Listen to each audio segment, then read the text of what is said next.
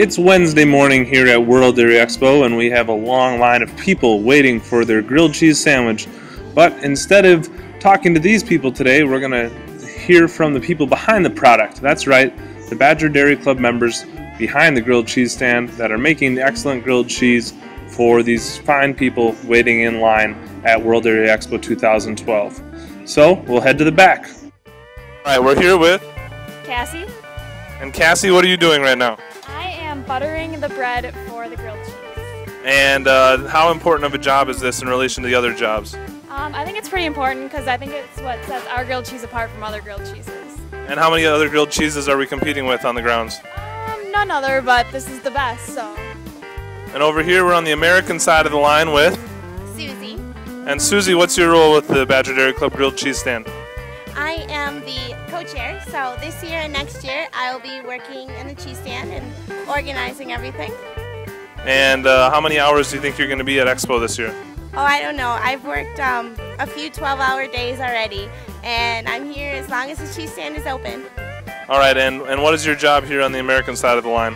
Um, well, I'm assembling the sandwiches, so I'm laying the bread and then the cheese, and if we're doing ham, and then grilling it and flipping them. And how long does it take to grill each side? Um, it probably takes a minute to grill each side of. So we're here We're on the Swiss side of the line with. Julie? And Julie, how do you feel about working the uh, Swiss side of the line opposed to the American? Do you feel this is anti-country, or, or does this make you more of a an immigrant than a real uh, real American? Well, I think cheese should be all created equal as it is a dairy product and all are very healthy. And what's your favorite cheese? Colby Jack.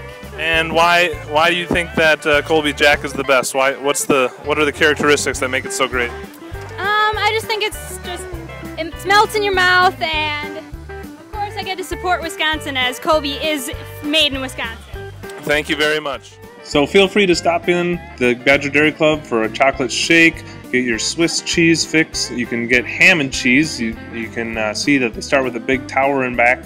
Uh, the grilled cheese sandwiches are just $2 per piece, uh, and the chocolate shakes are $1. They will be open throughout all of Expo from 8 a.m. to 5 p.m. And uh, these Badger Dairy Club members are working hard, making money for scholarships, and uh, we'll be excited to see and serve you. This is Lucas Shellstrom with Hoard's Dairyman at World Dairy Expo 2012.